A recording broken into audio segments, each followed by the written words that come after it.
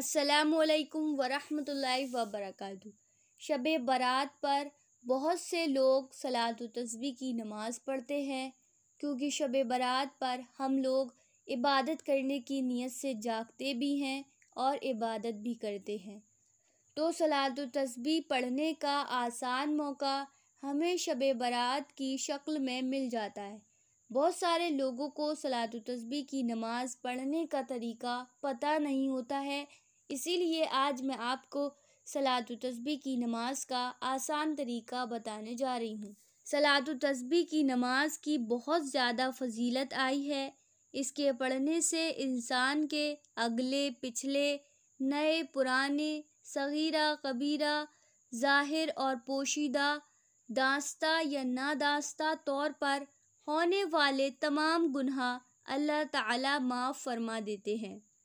حضور اکرم صلی اللہ علیہ وسلم نے اپنے چچا کو صلاۃ و تسبیح کی نماز پڑھنے کو کہا اور فرمایا کہ ہو سکے تو روزانہ، ورنہ ہر جمعہ کو اور ہر جمعہ کو نہ پڑھ سکو، تو سال میں ایک بار، سال میں ایک بار بھی نہ پڑھ سکو، تو تمام عمر میں ایک مرتبہ تو ضرور پڑھ لو۔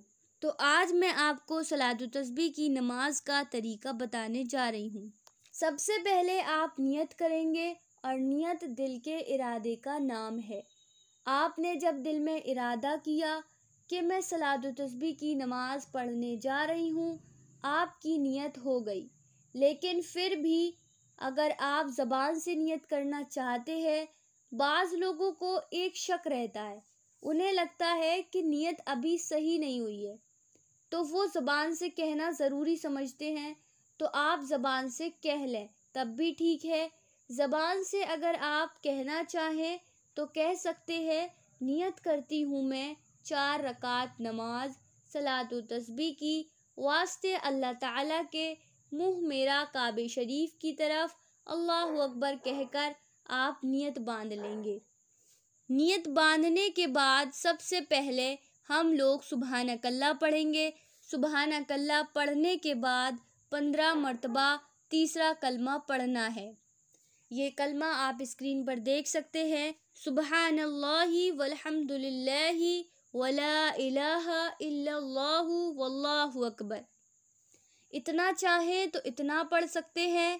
اگر آپ پورا پڑھنا چاہیں سبحان اللہ والحمد للہ ولا الہ الا اللہ واللہ اکبر۔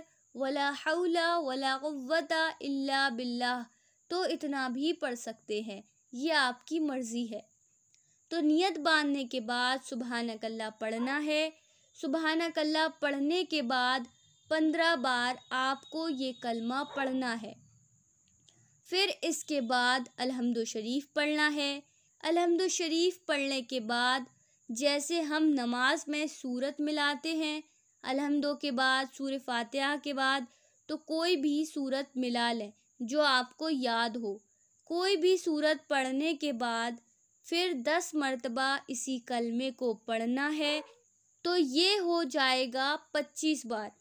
پھر آپ اللہ اکبر کہہ کر رکو میں چلے جائیں گے۔ رکو میں جانے کے بعد رکو کی تسبیح پڑھیں گے۔ رکو کی تسبیح پڑھنے کے بعد پھر دس بار آپ کو یہی کلمہ پڑھنا ہے، تو یہ ہو جائے گا پینتیس بار۔ پھر آپ رکو سے اٹھیں گے سمی اللہ لمن حمیدہ، ربنا لک الحمد کہیں گے۔ پھر آپ کو یہی کلمہ دس مرتبہ پڑھنا ہے، تو یہ ہو جائے گا ہمارا پینتالیس بار۔ پھر آپ اللہ اکبر کہہ کر سجدے میں چلے جائیں گے۔ سجدے میں جانے کے بعد سجدے کی تصویر پڑھنا ہے۔ پھر سجدے میں آپ کو دس بار یہی کلمہ پڑھنا ہے، تو یہ ہو جائے گا ہمارا پچپن بار۔ پھر آپ سجدے سے اٹھیں گے، اللہ اکبر کہہ کر۔ پھر آپ کو سجدے سے اٹھ کر دس بار یہی کلمہ پڑھنا ہے، تو یہ ہو جائے گا ہمارا پینسٹھ بار۔ پھر آپ دوسرے سجدے میں جائیں گے، پھر آپ کو سجدے کی تسبیح پڑھنی ہے اور پھر دس بار یہ کلمہ پڑھنا ہے۔ تو یہ ہو جائے گا ہمارا پچہتر بار۔ اس طرح سے ایک رکعت مکمل ہو جائے گی اور ایک رکعت میں پچہتر بار یہ کلمہ آپ پڑھ لیں گے۔ اسی طرح دوسری رکعت میں اللہ اکبر کہہ کر کھڑے ہو جائیں گے تو الحمد شریف پڑھنے سے پہلے پندرہ بار آپ کو یہی کلمہ پڑھنا ہے۔ پھر اس کے بعد الحمد شریف پڑھیں گے۔ الحمد شریف پڑھنے کے بعد کوئی سی بھی صورت ملائیں گے۔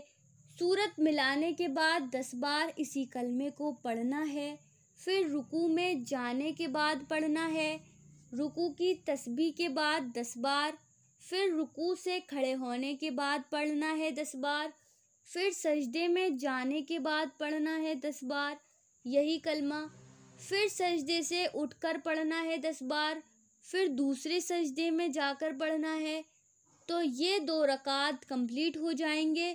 دوسری رکعت میں آپ اتحیات میں بیٹھیں گے اتحیات میں بیٹھنے کے بعد اتحیات پڑھیں گے، پھر تیسری رکعت کے لیے کھڑے ہو جائیں گے۔ اسی طرح سے آپ تیسری رکعت بھی کمپلیٹ کر لیں گے اور چوتھی رکعت بھی کمپلیٹ کر لیں گے۔ تو ہماری صلاۃ و تسبیح کی نماز کمپلیٹ ہو جائے گی۔ مجھے امید ہے کہ آپ کو صلاۃ و تسبیح کی نماز کا طریقہ اچھے سے سمجھ آیا ہوگا۔ السلام علیکم ورحمۃ اللہ وبرکاتہ